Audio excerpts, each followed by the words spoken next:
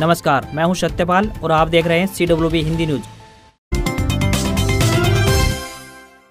हरियाणा पंचायत चुनाव की सरगर्मियाँ तेज, जेजेपी सलाह लेकर करेगी पार्टी सिंबल पर इलेक्शन लड़ने का फैसला वार्ड वाइज कार्यकर्ताओं से पूछेंगे। हरियाणा में पंचायत चुनाव की सरगर्मियाँ तेज हो गई हैं। किसी भी समय पंचायत चुनाव की तारीखों का ऐलान हो सकता है। यह चुनाव केवल जिला परिषद का चुनाव न होकर आने वाली विधानसभा दो हज़ार चौबीस की नींव का भी काम करेगा। ऐसे में जननायक जनता पार्टी ने तैयारियों को अमली जामा पहनाते हुए गाँव में भागदौड़ आरंभ कर दी है। जसपा के प्रदेश उपाध्यक्ष एवं कोचली हल्के में पंचायत चुनाव प्रभारी अभिमन्यु राव ने कहा की हमने तय कर लिया की गाँव गाँव और वार्ड वाइज कार्यकर्ताओं से रायशुमारी करेंगे और साथ ही पूछेंगे कि पंचायत चुनाव सिंबल पर लड़ा जाए या फिर नहीं। इसके बाद ही फैसला लेंगे। हर जगह मज़बूत प्रत्याशी उतारेंगे। प्रत्याशी तय करने में भी सभी की सहमति लेंगे।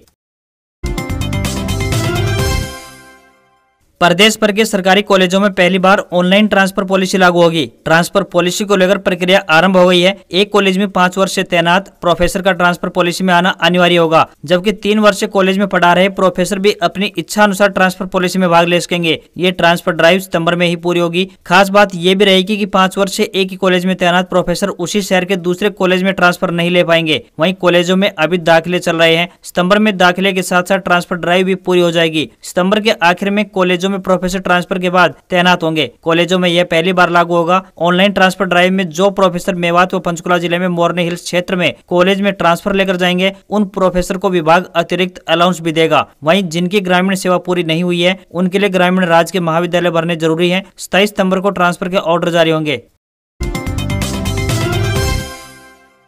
अग्निपथ योजना अपडेट। आवेदन का आज अंतिम दिन 25 अक्टूबर से 11 नवंबर तक आयोजित होगी भर्ती रैली। भर्ती कार्यालय मुख्यालय अंबाला 25 अक्टूबर से लेकर 11 नवंबर तक। खड़गा स्टेडियम अंबाला कैंट में अग्निपथ योजना के तहत अग्निवीरों के चयन के लिए रैली भर्ती का आयोजन करेगा। हरियाणा के अम्बाला कैथल, करनाल, कुरुक्षेत्र, यमुनानगर, पंचकुला जिलों और केंद्र शासित प्रदेश चंडीगढ़ के युवा जो पात्र मानदंडों को पूरा करते हैं, वे तीस अगस्त तक join Indian army dot N I C dot in website आरोप अपना पंजीकरण करवा सकते हैं। यानी पंजीकरण की आज आखिरी तारीख है।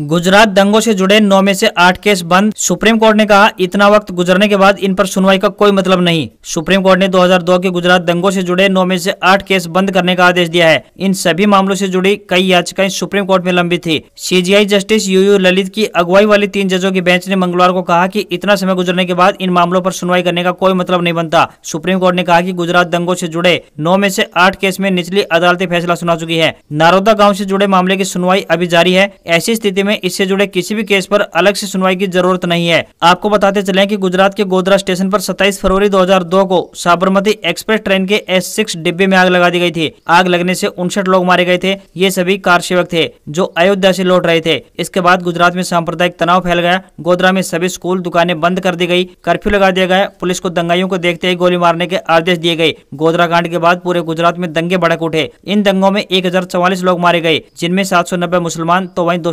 हिंदू थे सोनाली का पीए सुधीर पहले भी जा चुका जेल। दोस्त के नाम नेट हाउस लोन करवाकर पैसे खुद ले गया। किसान के नब्बे लाख भी हड़पे। सोनाली फोगाट हत्याकांड के आरोपी सुधीर सांगवान का आपराधिक रिकॉर्ड मिला है। वह पेशे से वकील है और गोहाना बार एसोसिएशन का मेंबर है। कुछ दिन वकालत की, लेकिन चली नहीं। इसके बाद उसने रोहतक जिंद रोड पर पोल्ट्री फार्म खोला, वह भी नहीं चला। सुधीर ने किसानों को पोल्ट्री हाउस में सरकारी सब्सिडी दिलवाने का काम शुरू किया और उसमें घोटाला कर दिया। उसके खिलाफ केस भी दर्ज हुआ और जेल भी जाना पड़ा। हिसार के भी एक किसान के साथ नब्बे लाख रूपए की ठगी सुधीर ने की है। गैंगस्टर लॉरेंस का भांजा सचिन अजरबैजान में अरेस्ट। भाई अनमोल कनाडा से कीनिया भागा विदेश मंत्रालय ने पंजाब पुलिस से क्रिमिनल हिस्ट्री मांगी। पंजाबी सिंगर सिद्धू मूसेवाला हत्याकांड के मास्टरमाइंड सचिन थापन को अजरबैजान में अरेस्ट कर लिया गया है। वहीं गैंगस्टर लॉरेंस का भाई अनमोल कनाडा से कीनिया पहुँचने की खबर है। ये दोनों मूसेवाला के कत्ल से पहले फर्जी पासपोर्ट पर भारत छोड़कर भाग गए थे। इसका पता चलते ही पंजाब पुलिस ने विदेश मंत्रालय के साथ मिलकर सचिन को भारत लाने की कार्रवाई शुरू कर दी है। उधर विदेश मंत्रालय ने पंजाब पुलिस से इनकी क्रिमिनल हिस्ट्री मांगी है। सीबीआई ने मनीष सिसोदिया के लॉकर खंगाले पीएनबी में 45 मिनट तलाशी ली। डिप्टी सीएम बोले, लॉकर से कुछ नहीं मिला, पीएम ने जाँच कराई। दिल्ली की शराब नीति में गड़बड़ी के मामले में जाँच में जुटी। सीबीआई ने मंगलवार को डिप्टी सीएम मनीष सिसोदिया के लॉकर की तलाशी ली। गाजियाबाद के वसुंधरा सेक्टर चार की पंजाब नेशनल बैंक में सिसोदिया का बैंक लॉकर है। सीबीआई की टीम ने बैंक में पैंतालीस मिनट तक लॉकर की जाँच की। इस दौरान मनीष सिसोदिया और उनकी पत्नी भी मौजूद रही। जाँच के दौरान बैंक के गेट बंद रहे। किसी को भी एंट्री नहीं दी गई ये नियम है की लॉकर को उसके खाता की अनुमति और उपस्थिति के बिना नहीं खोला जाता है। इसलिए मनीष सिसोदिया और उनकी पत्नी सीमा को यहाँ बुलाया गया। दिल्ली के डिप्टी सीएम बनने से पहले मनीष सिसोदिया गाजियाबाद के इसी वसुंधरा इलाके में रहते थे। जाँच के बाद डिप्टी सीएम मनीष सिसोदिया ने कहा, लॉकर से सीबीआई को कुछ भी नहीं मिला। सारी जाँच में मेरा परिवार पाक साफ़ है। ये सच्चाई की जीत है। पीएम ने मेरे लॉकर की जाँच कराई। मुझे दो से तीन महीने की जेल भेजने की साजिश हो रही है। महिलाओं के लिए दिल्ली सबसे असुरक्षित, मुंबई दूसरे तो वहीं बेंगलुरु तीसरे नंबर पर राजधानी में एक साल में महिलाओं पर अपराध के मामले 40 प्रतिशत बढ़े। दिल्ली देश में महिलाओं के लिए सबसे असुरक्षित शहर है। नेशनल क्राइम रिकॉर्ड ब्यूरो, यानी एनसीआरबी के आंकड़ों के अनुसार दिल्ली में साल 2020 में महिलाओं के खिलाफ नौ हज़ार सात सौ बयासी अपराध दर्ज किए गए थे, जो दो हज़ार इक्कीस में चालीस प्रतिशत बढ़कर, यानी तेरह में पहुँच गए। दिल्ली के बाद मुंबई पाँच मामलों के साथ दूसरे नंबर और बेंगलुरु तीन हज़ार एक सौ सत्ताईस मामलों के साथ तीसरे नंबर पर है। देश के उन्नीस बड़े शहरों में में महिलाओं के खिलाफ हुए कुल अपराधों में से अकेले दिल्ली में बत्तीस प्रतिशत अपराध दर्ज किए गए हैं। आंकड़ों के अनुसार दिल्ली में 2021 में हर दिन दो नाबालिग लड़कियाँ दुष्कर्म का शिकार बनी। 31 अगस्त तक कर लें ये दो काम। पीएम किसान योजना के लाभार्थी और पीएनबी के खाता धारक जल्द से जल्द करा लें केवाईसी, नहीं तो होना पड़ सकता है परेशान। अगस्त महीना खत्म होने में अब सिर्फ़ दो दिन का समय बचा है। ऐसे में अगर आप पीएम किसान सम्मान निधि योजना का लाभ ले रहे हैं तो इकतीस अगस्त यानी कल तक ई के कराना ज़रूरी है। ऐसा नहीं करने वाले किसानों को अगली किस्त का पैसा नहीं मिलेगा। इसके अलावा पंजाब नेशनल बैंक यानी पीएनबी ने खाता धारकों को इकतीस अगस्त तक केवाईसी कराने को कहा है। ऐसा न करने पर अकाउंट चलाने में दिक्कत आ सकती है। बैंक के अनुसार केवाईसी न कराने पर बैंक अकाउंट बंद किया जा सकता है। आप बैंक के ब्रांच में जाकर अपना केवाईसी अपडेट करा सकते हैं। बैंक में आपको केवाईसी के फॉर्म मिलेंगे, उसे भरकर और साथ में ज़रूरी डॉक्यूमेंट को अटैच कर जमा कर दीजिए। फॉर्म जमा करने के बाद आपका केवाईसी अपडेट हो जाता है।